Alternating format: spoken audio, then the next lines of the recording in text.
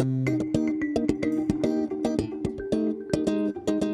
¿qué tal amigos? Yo soy Samuel Pastelerito, un escultor de delicias. Bienvenidos a la Kitchen. El día tengo una persona muy especial para mi vida porque es el que me enseñó la pastelería. Y esa persona especial es mi papá. Hola papi, muchísimas gracias por la invitación. Muchas gracias, a mis amigos de la Kitchen. Aquí estamos hoy. Vamos, ¿Qué vamos a hacer hoy?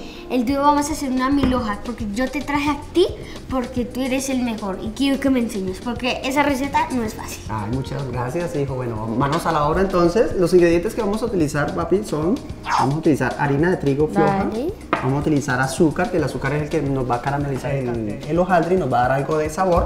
Vamos a utilizar sal, un poquito de mantequilla, agua para hidratar nuestra masa. Entonces lo primero que vamos a hacer es, vamos a aplicar la harina en el centro. En el centro vamos a aplicar la mantequilla. Dale. Vamos a aplicar el azúcar. Y me imagino que después la sal. Y de último vamos a aplicar un poquito de sal. Dale. ¿Listo? Lo primero que vamos a hacer es, vamos a integrar estos tres ingredientes, poco a poco vamos mezclando. A medida que se va integrando los ingredientes, vamos aplicando un poco de harina. Entonces mira, muy suave. Ah, por eso haces el huequito. Exactamente, por eso se hace el huequito y de esa manera trabajamos más fácil. Si yo no hago el huequito, cuando yo aplique el agua se nos va a regar y nos vamos a ensuciar. Entonces el siguiente paso es, vamos a adicionar El agua. muy poco el agua. El agua no se aplica la totalidad desde un principio. Vamos agregando poco a poco, vamos mezclando. Bueno, mira, entonces vamos integrando. Hazte de cuenta que este mismo proceso lo estamos haciendo en la batidora, pero lo estamos haciendo manualmente porque, vuelvo y te digo, hay que perder el miedo a trabajar con la masa. Ok, hijo, bueno, ya tenemos lista la masa. Es Esa la esa es la textura que vamos a necesitar. Aplicamos abundante harina. Ponemos harina encima de la masa, ya ahí no se nos va a pegar, mira. Entonces aquí viene el segundo paso. Ya tenemos la masa, ahora vamos a integrar el empaste. El empaste es un 70 o un 80% de mantequilla sobre el peso total de la masa. Entonces Vale. aquí tenemos la mantequilla, preferiblemente que esté un poquito fría, entonces vas a tocar, está durita. La vamos a Aplastar. aplastar un poquito, ponemos en el centro y lo que vamos a hacer es, vamos a tapar. Tapamos, importante Vale. que quede muy sellado para que no se nos vaya a salir la materia grasa por los lados. Si no queda sellado. Se empieza a salir la mantequilla y ya nuestro hojaldre no va a quedar con una buena textura, ¿no? Y me vas a ayudar a estirar. O sea, ¿sí? Sí, muy bien, pasito. Tienes que ser muy delicado. Recuerde que si se nos llega a salir la mantequilla de la masa, No ya no va a quedar bien crocante la, la milhoja, ¿no? Entonces, harina, cada vez que estamos estirando harina, igual que el fondant. Bueno, aquí, ¿qué vamos a hacer? ¿Qué es lo bonito de esta masa? Y es que no vamos a aplicar levadura, simplemente es la- las capas de, las diferentes capas de mantequilla en la que nos van a ayudar a crecer el hojaldre. Entonces, ¿cómo vamos a hacer las capas? Es vuelta, vuelta simple, la primera ponemos Vuelta. aquí y la otra la montamos encima. Y ahí ya tenemos la primera vuelta, son cuatro vueltas. Entonces la segunda sería una vuelta doble. Listo. La primera vuelta que hicimos, ¿cómo era? Vuelta simple. Sí. ¿Listo? Ahora vuelta doble. ¿no? ¿Cómo sería una vuelta doble? Sería así. ¿Eh? Así. Muy bien. Y después así. Y montamos. Muy bien. Y en esta segunda vuelta, entonces, si te das cuenta, la masa ya está un poco más contraída, ya tiene más eh, estabilidad. Se nos pone un poco dura la masa, entonces para una tercera y una cuarta vuelta tenemos que dejar que la masa nuevamente quede suave. Para esto que debemos hacer, simplemente vamos a tapar con un plástico y le vamos a dar un reposo de unos 5 o 10 minuticos y ya queda suavecita para volver a estirar. ¿Listo? Dale. Ahora vamos a empezar a estirar. Ok. Así, mire, ya es más blandita. Antes tocaba hacer más fuerza.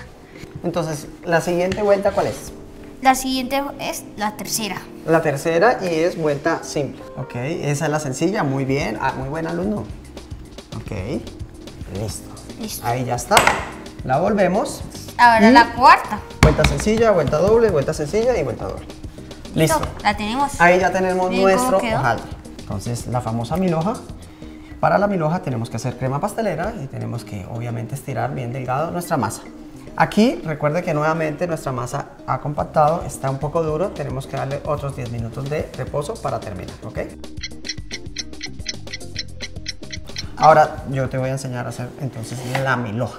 Entonces yo voy a estirar, vamos a estirar muy delgada la masa. Entonces yo aquí, el siguiente paso es, vamos a hacerle unos pequeños agujeros a la masa porque puede tener mucha, ¿que respire? mucha fuerza. Exactamente, para que respire un poco la masa y no levante tanto el hojaldre. Entonces, ¿cómo le podemos hacer los agujeros? Podemos con un tenedor o existen este tipo de rodillos que lo que hacen es perforar, perdón, Dale. perforar la masa y miren qué bonita queda de una vez marcada. Bueno, entonces el siguiente paso es vamos a buscar, Dale. yo voy a buscar una bandeja, la vamos a poner con papel parafinado. Lo que hacemos es, miren lo fácil que es levantar, ponemos acá, la recogemos, lo ponemos en la bandeja y ya está lista nuestra milhoja para ir al horno. 25 a 30 minutos en el horno y ya queda nuestra milhoja. Bueno, listo, mi amor. Entonces ya está nuestra milhoja en el horno. Dale. Ahora vamos a alistar la decoración y el relleno. Vamos a aplicar lo que es a la olla. Vamos con la leche. La leche. Vamos a adicionar la crema de leche. El 90% de la crema de leche lo aplicamos a la olla. Y el otro poquito que nos queda se lo vamos a adicionar a la fécula. Adicionamos las yemas aquí directamente. ¿Tú me ayudas? Listo. Y vamos a mezclar. Mientras tanto, entonces por este lado tenemos la crema de leche, la leche y el dulce Y que es el azúcar. Bueno, hay muchos rico. tipos de crema pastelera, le podemos, le podemos adicionar cualquier tipo de sabor. En este caso, como estamos haciendo una milhoja tradicional, entonces es simplemente una crema pastelera muy láctea. Esta es la textura que necesitamos. Miren qué fácil. Aquí tenemos que tener en cuenta, vamos a adicionar esta mezcla a los lácteos. Adicionamos una pequeña cantidad de esta mezcla hacia acá, la temperamos y ahí sí la llevamos acá. Tempera un poco las yemas. La Adicionamos. En el momento que adicionamos la, la segunda mezcla, tienes que tener muy en cuenta que constantemente tenemos que mezclar, porque ella empieza a espesarse, ¿no? Entonces, constante movimiento, huele delicioso, ¿verdad? Ya quiero comer. Rico. Entonces ahí ya, bueno, ahí ya tenemos. Y nuestro siguiente paso, entonces vamos a aplicarlo sobre una refractaria. Vamos a enfriarla para decorar nuestra rica milhoja. Ya está lista nuestra milhoja. Mire cómo quedó súper crocante. Entonces aquí cortamos una capa. Vamos a hacerla de tres pisos, en tres capas. Entonces vamos a empezar con la decoración. Entonces siempre muy ordenado. ¿Listo? Ahí ya tenemos. Dale. Te recibo. Ven, pasitico. Así. Y la ponemos muy bien. Vamos con el siguiente. Nuevamente. Listo. Pero podemos jugar con cualquier tipo de boquilla.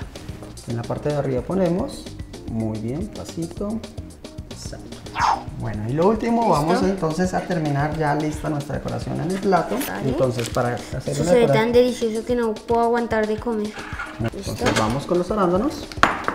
Vamos colocando todo el centro. Ok, eso. Se sigues poniendo y yo voy con las fresas. Dale. Pues miren qué lindo. Ok. Por último, el último toque secreto. Papi, ya no me puedo aguantar más para comerme esa milhoja. Está deliciosa. Bueno, mi amor, ¿te gustó la clase? Sí, me encantó. Entonces, Y se dio muy fácil para que aprendan más personas. Bueno, vamos a partir. Este es un postre que Dale. sí o sí, con la cucharita no podemos comer. Tenemos que partir la porción. Mire qué rico. Uf. Ahora vamos, hora de comer. ¿Me vas a decir qué tal?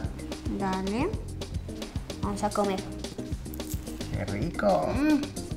Delicioso. Recuerden que nos pueden seguir en las redes sociales como en Instagram, TikTok, Facebook y YouTube como la arroba la kitchen oficial. Está buenísima.